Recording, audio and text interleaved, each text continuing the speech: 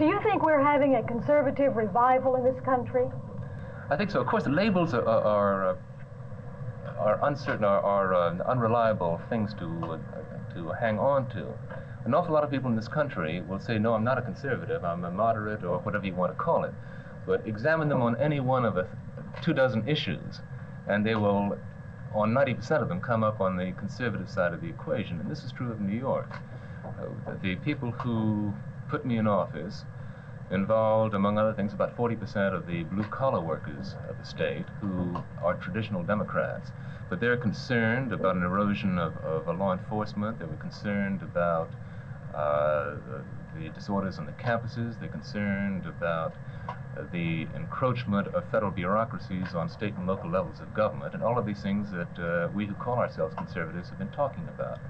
So I think that the fact that I could have been elected from New York indicates that there is a reassessment going on across the country, which means that those people who, not with labels, but by talking to the issues, who talk about uh, some of the old verities, are going to succeed in politics.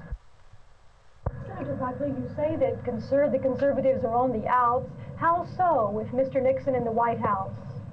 I've never thought of Mr. Nixon as, as uh, a, a, theological conservative. I think he's a, an instinctive conservative. I think that he represents that base root of American common sense, uh, which, and common sense in turn is based on, on, on an appreciation of, of uh, human experience and, and, human reaction.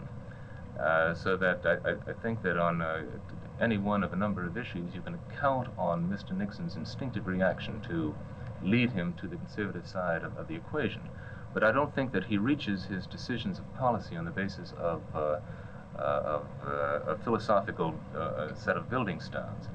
Uh, so that I, I don't think that uh, Mr. Nixon could have been elected if he hadn't brought together a coalition of conservatively oriented Democrats as well as Republicans and I certainly feel that his best chances of re-election will be to keep that coalition alive.